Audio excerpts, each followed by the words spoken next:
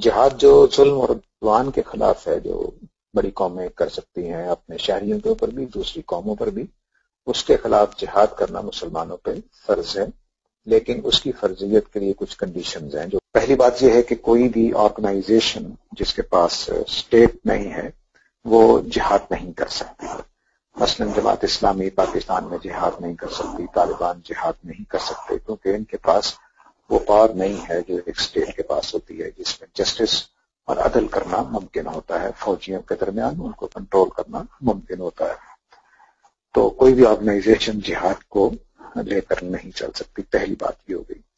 دوسری بات یہ کہ جہاد کے لیے قوت جو ہے وہ کس نوعیت کی آپ کے پاس ہو، تب وہ فرض ہوتا ہے۔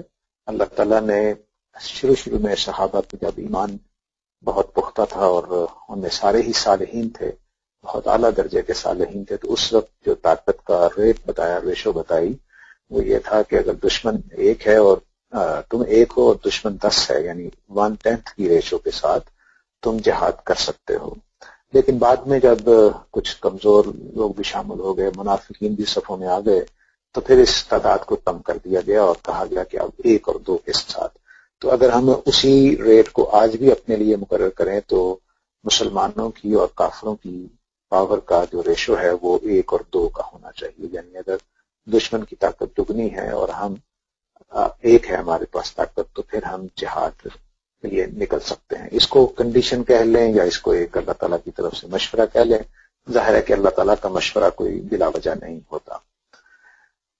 اگر ہم ایسا نہیں کر سکتے جہاد یعنی یہ کنڈیشن دونوں پوری نہیں ہوتی یعنی ہمارے پاس اسٹیٹ نہیں ہے، یا ہمارے پاس اتنی پاور نہیں ہے، طاقت نہیں ہے، ہماری فورسز بہت کمزور ہیں دشمن کے مقابلے میں، تو پھر ہم دوسرا طریقہ اختیار کر سکتے ہیں جو مثلاً سفارتی طریقہ ہوتا ہے، ایک دوسرے کے ساتھ بارگیننگ کا، باتیں منوانے کا، دوسرے لوگوں کو بیچ میں ڈالنے کا، دوسری قوموں کے ساتھ اتحاد کرنے کا، یہ ہم پہلے کام کریں گے، اس کے بعد جہاد کریں گے۔ لیکن جس وقت اسٹیٹ کوئی بھی، مثلا پاکستان یہ فیصلہ کر لیتا ہے کہ کشمیریوں کی مدد کے لیے ہم جہاد کریں گے اور وہ اعلان کر دیتی ہے جہاد کا، تو پھر جو بھی قابل جنگ مرد ہوتے ہیں، ان کے اوپر جہاد فرض ہو جاتا ہے اگر وہ ڈیمانڈ کرے۔ اگر اسٹینڈنگ آرمیز ہیں تو پھر اسٹینڈنگ آرمیز کے اوپر ایک جہاد فرض ہے، لیکن فرض کر لیجیے کہ وہ جہاد کے پروسیس میں، جیسے 1965 میں ہو گیا تھا کہ نام نوجوانوں کو بھی بھرتی کر لیا گیا۔ تو اس کیفیت میں پھر سب پہ جہاد فرض ہو جاتا ہے اگر وہ ظلم کے خلاف جہاد ہو رہا ہے۔ لیکن ظاہر ہے کہ یہ جو بھی کنڈیشن میں نے بتائی ہیں، اس کے اوپر امت میں اختلاف ہے۔ اس وقت جو اسٹیٹ والی کنڈیشن ہے، اس کو طالبان اور اس طرح کے جو گروپس ہیں، وہ نہیں مانتے۔ اور کشمیر میں جو جہاد ہو رہا ہے، اس میں بھی ایسا ہی ہے۔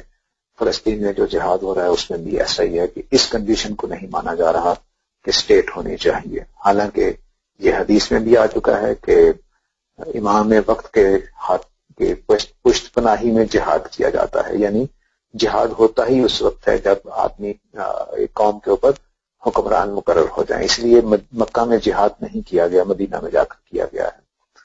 کچھ لوگ جو ہیں وہ دوسری کنڈیشن کو کنسیڈر نہیں کرتے، یہ اکثریت نہیں کرتی یعنی پرانی کتابوں میں تو لکھا ہوا تھا کہ حاکم ہونا چاہیے، لیکن اب نہیں ہو رہا، لیکن دوسری کنڈیشن کی طاقت کا ریشو کیا ہوگا؟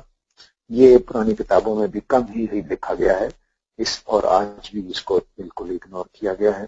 لیکن بہرحال یہ دونوں کنڈیشنز ہونی چاہیے۔ تب ہم اتحاد میں جا سکتے ہیں، کود سکتے ہیں، اس سے پہلے نہیں۔ میری بات مکمل ہوئی